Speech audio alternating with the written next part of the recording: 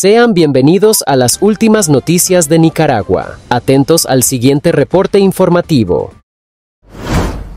En un espectáculo de traición y descomposición, el régimen de Daniel Ortega y Rosario Murillo ha iniciado una despiadada purga interna, demoliendo a los que alguna vez se creyeron intocables. Carlos Fonseca Terán, Alba Luz Ramos, Rafael Solís y Humberto Ortega, quienes otrora brillaron como estrellas del sandinismo, han sido ultrajados, reprimidos y aplastados por el propio sistema que defendieron con lealtad ciega. Carlos Fonseca Terán, hijo del fundador del FSLN, está viviendo un infierno él y su esposa, la ex magistrada Arlen Cuadra Núñez, están incomunicados en su hogar en Lomas del Valle, Managua, bajo arresto domiciliario. La policía del régimen les confiscó sus teléfonos y computadoras, y se rumorea que Fonseca Terán coordinaba un grupo de WhatsApp conocido como La Comuna. La familia del fundador del FSLN, una vez considerada sagrada, ahora es perseguida sin piedad. La dictadura no se detiene ante nada, ni siquiera ante el dolor de María Jaide Terán, madre de Fonseca Terán, quien fue visitada por las autoridades en un acto de cruel cinismo, bajo el pretexto del cumpleaños 88 de su esposo, Carlos Fonseca. Humberto Ortega, hermano menor del dictador, ha sido blanco de la furia de Rosario Murillo, después de una entrevista con Infobae donde declaró que no había sucesión en la dictadura tras la muerte de su hermano, fue despojado de sus dispositivos electrónicos y sometido a vigilancia constante. La policía, en un grotesco acto de represión, instaló una unidad médica en su casa, convirtiéndola en una prisión dorada. Alba Luz Ramos, la poderosa magistrada del Poder Judicial, fue brutalmente desalojada de su oficina en octubre del año pasado. Policías de civil la llevaron a interrogatorios y su hija, María Alejandra Ramos, quedó bajo vigilancia policial, sin poder siquiera recuperar sus pertenencias. La caída de Ramos es un recordatorio escalofriante de que nadie está a salvo en la Nicaragua de Ortega y Murillo. Rafael Solís, quien fue padrino de bodas de la pareja gobernante, también sufrió la ira del régimen. La casa de su madre, Rafaela Cerda, y de su hijo, Rafael Ernesto Solís Castillo, fueron rodeadas por una decena de patrullas. La anciana de 93 años, ahora en la clandestinidad, fue despojada de sus propiedades por el régimen. Solís, una vez arquitecto, de la sentencia que permitió la reelección de Ortega, ha sido reducido a la nada, su título de abogado anulado y su nacionalidad arrebatada, pero la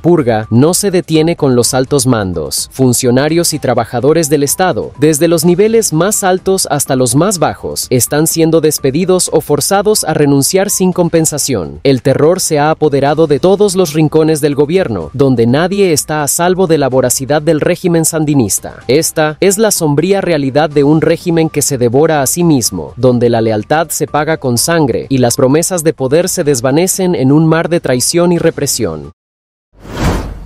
La dictadura sandinista de Daniel Ortega y Rosario Murillo ha lanzado una despiadada campaña de terror contra la Iglesia Católica en el norte de Nicaragua. Este viernes 2 de agosto, al menos ocho sacerdotes fueron detenidos en una operación de represión sin precedentes en Matagalpa. Las autoridades, en un alarde de poder y despotismo, no dudaron en llevarse computadoras y hasta electrodomésticos de las iglesias, dejando a la comunidad en estado de shock y desamparo. Entre los religiosos capturados se encuentran Jairo Pravia, párroco de la Iglesia Inmaculada Concepción, y Víctor Godoy, vicario de la misma iglesia, Marlon Velázquez, administrador de la Iglesia Santa Lucía, Antonio López, párroco de Nuestro Señor de Veracruz de Ciudad Darío, Raúl Villegas, párroco de la Iglesia Nuestra Señora de Guadalupe de Matiguás, Francisco III, párroco de la Iglesia Santa Faustina Kowalska de Solingalpa, Silvio Romero, párroco de la Iglesia San Francisco de Asís, diócesis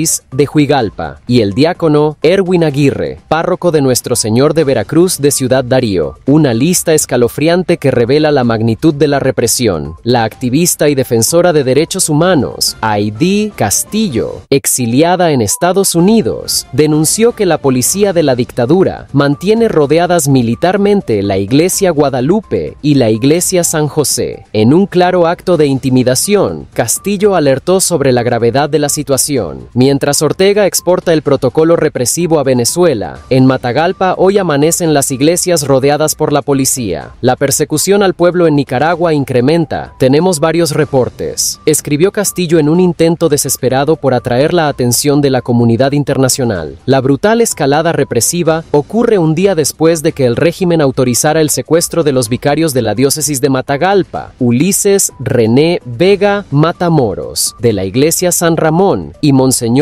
Edgar Sacasa, párroco de la iglesia San Isidro. Ambos eran administrados por Monseñor Rolando Álvarez, quien ahora se encuentra desterrado en Roma. La situación es desesperante, con al menos 10 detenciones arbitrarias en las últimas 24 horas y un total desconocimiento del paradero de los sacerdotes. La represión no se detiene ahí. Días atrás, agentes policiales privaron de libertad a dos vicarios y al sacerdote Frutos Constantino Valle Salmerón, de 80 años, administrador ad omnia de la diócesis de Estelí. Este venerable sacerdote fue sacado de su residencia en horas de la noche y trasladado al seminario Nuestra Señora de Fátima en Managua, en un acto de crueldad y desprecio por la fe católica. La comunidad internacional no puede seguir ignorando estos actos de barbarie. La dictadura de Ortega y Murillo ha mostrado su verdadero rostro, uno de represión, miedo y control absoluto.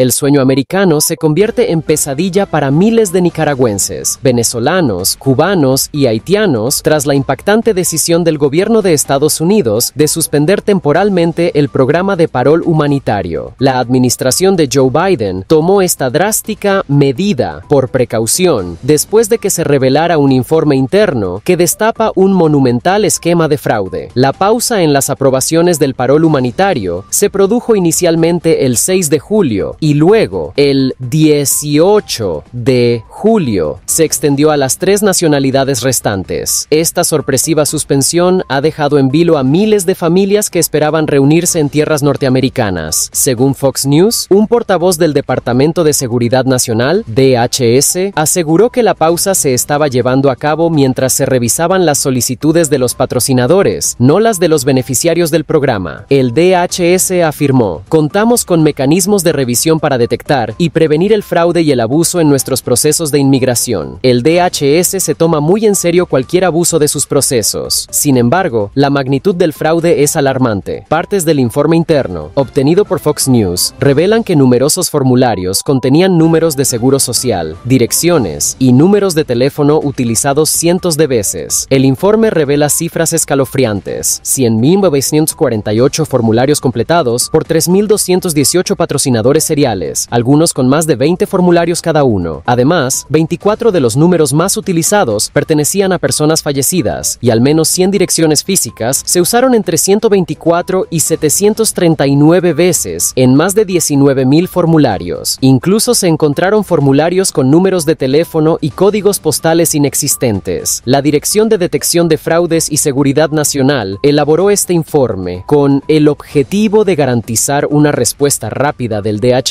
ante el fraude en los programas de beneficios de inmigración. Ahora, los patrocinadores deben pasar una verificación de antecedentes y demostrar tener los recursos financieros necesarios para apoyar a las personas que patrocinan. Desde la apertura del programa hasta junio de 2024, al menos 93.325 nicaragüenses fueron autorizados para viajar, según la Oficina de Aduanas y Protección Fronteriza de Estados Unidos. De estos, 86.000 101 ya llegaron a territorio norteamericano, dejando a 7.224 personas aún pendientes de concretar su viaje. La decisión de suspender el programa ha desatado una ola de incertidumbre y frustración. Familias enteras ven cómo se desvanece su esperanza de un futuro mejor, atrapadas en un sistema que les da la espalda en el momento más crítico. Mientras tanto, el mundo observa cómo la política migratoria de Estados Unidos se tambalea ante el escándalo y la desconfianza. Suscríbete a Nicaragua Hoy TV para que no te pierdas las últimas noticias más importantes. Déjanos tu opinión en la caja de comentarios y activa la campana de notificaciones. Nos vemos en el próximo reporte.